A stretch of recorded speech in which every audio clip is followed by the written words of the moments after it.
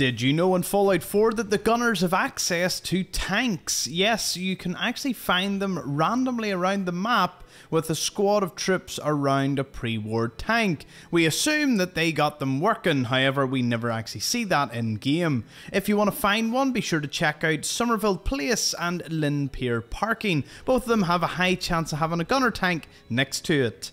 Thank you for watching.